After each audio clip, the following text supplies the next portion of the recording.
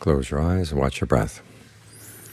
Make up your mind you're going to stay with the breath all through the session, all the way through the in-breath, all the way through the out, and then the next breath, then the next breath.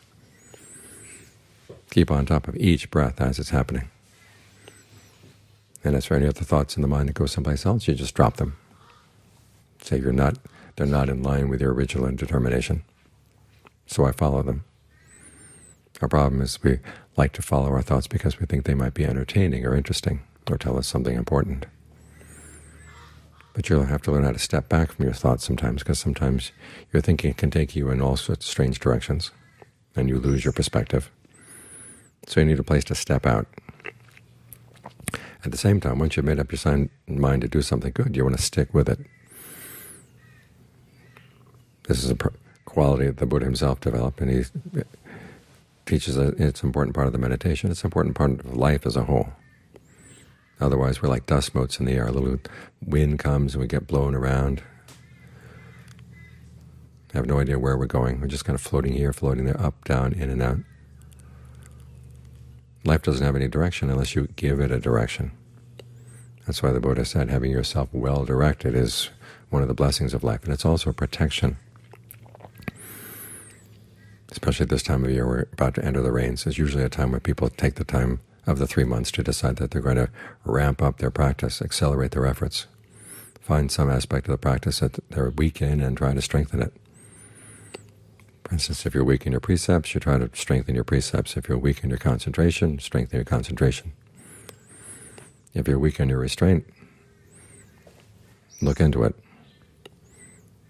Restraint applies to two things. One is the things you take in from outside, and then the things that come out of you restraint over your mouth is one thing. It's what, what you say to other people. But also there's restraint about what you take in. We spend lots of time on the Internet these days looking at things that really are not of any real importance. They're entertaining, they're interesting. They have what they call clickbait. You know, you know what bait is designed for. It's designed, it's designed to get fish hooked. They're trying to hook you. So you might say, spend less time during the next three months. Spend less time on the Internet or be very strict with yourself on what you look at, and then when there's a temptation to check out the news, check out this, you say, nope, that's not what I'm here for. Stop it. That way you get some control over your life.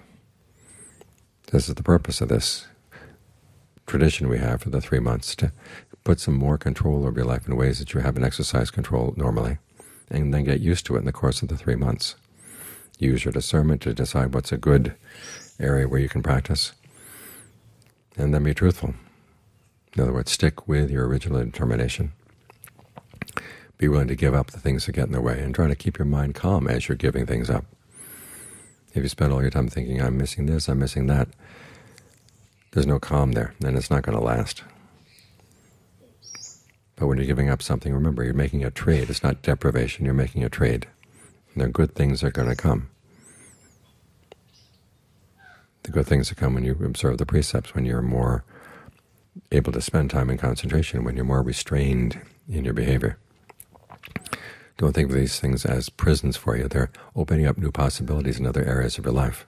The huge areas of your life, huge areas of your mind that get obscured if you're just wandering around wherever you like to go. Your immediate likes and your deeper desires in life for true happiness get ignored. But here you're opening up the possibility that there is a true happiness that comes when you train the mind.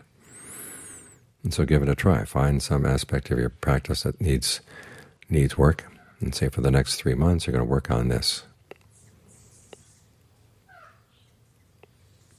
And you find that it makes a change in your life. As Ajaan Fuang used to say, it becomes a monument to the goodness that you're creating with your life.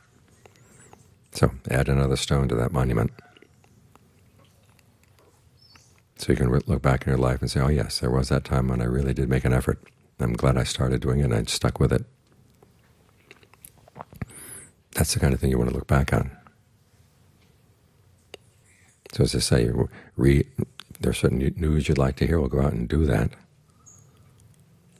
If there's some things you'd like to look back on, we'll do them now.